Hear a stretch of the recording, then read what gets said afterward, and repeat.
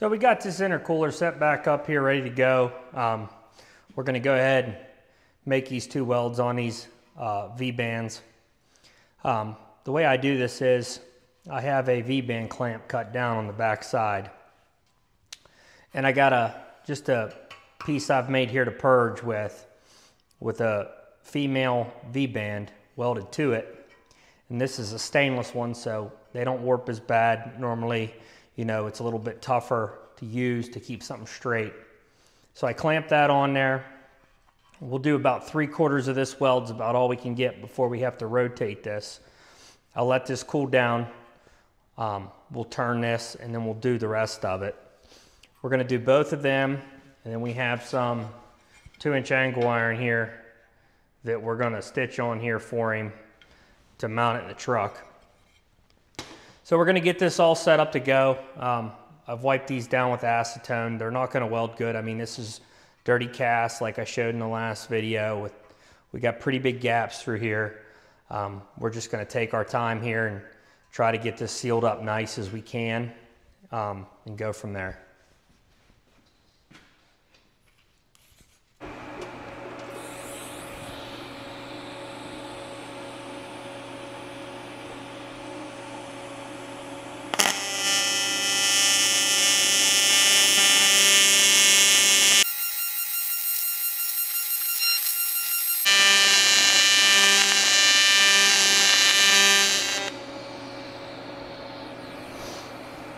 It's welding dirty like I figured, but we're gonna have that on this.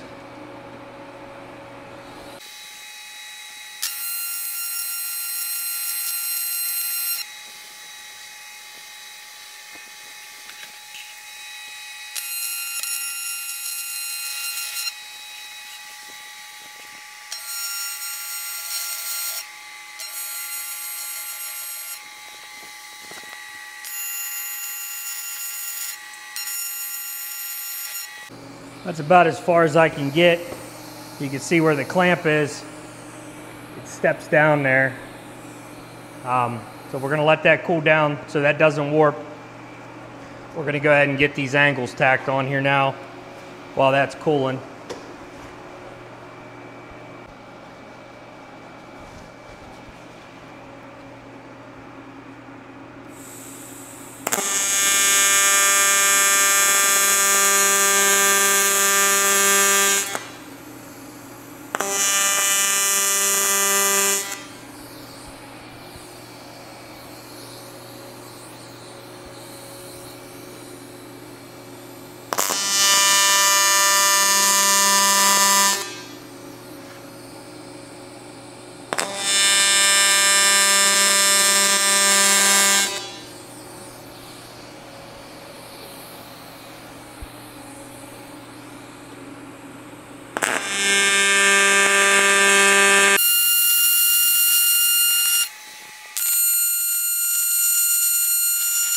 Just gonna put one weld here in the center on both sides.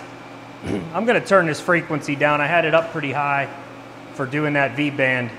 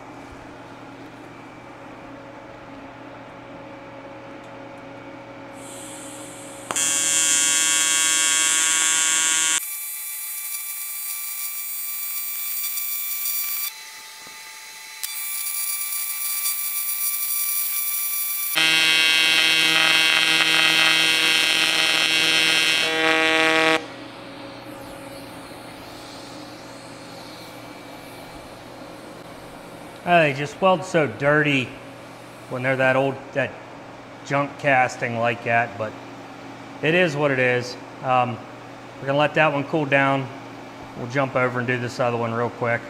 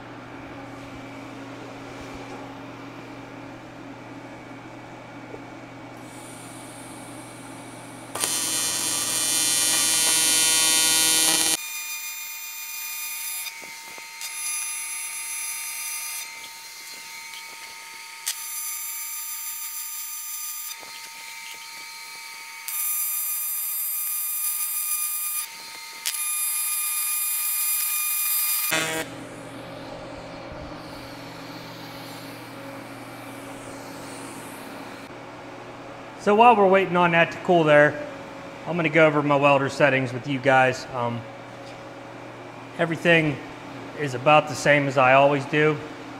I messed around here. I sharpened the tungsten, got a real nice small ball on it. Number six cup like I always run.